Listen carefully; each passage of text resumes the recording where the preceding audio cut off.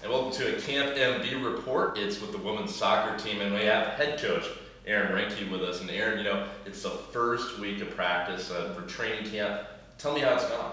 Oh, it's gone extremely well. Our our new incoming freshmen, our current players have gelled really well together. Um, we still have a lot of teaching to do, but um, the enthusiasm is there.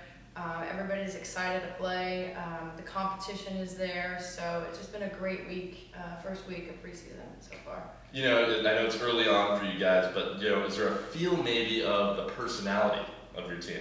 Oh, personality. We have lots of personality on our team, but it's it's actually a, a, lot of fun um, because of their enthusiasm and um, everybody has their own little niche uh, of personality, but it's been uh, it's been fun and it, again has gelled really well with the current players and some of even the current players have um, from last year have broke out of their shell too. So it's been fun. I mean, it's honestly probably the, the most fun I've had coaching so far.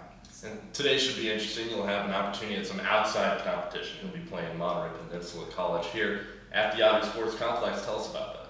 Yeah, it's a, you know it's our first scrimmage out you know against the outside competition, um, not against ourselves, and um, so it'll be a good test for us to see you know how we do against uh, somebody else. So um, we're excited to see you know what we can do and what we need to work on still, and um, and again they're really enthusiastic and they're ready to play again.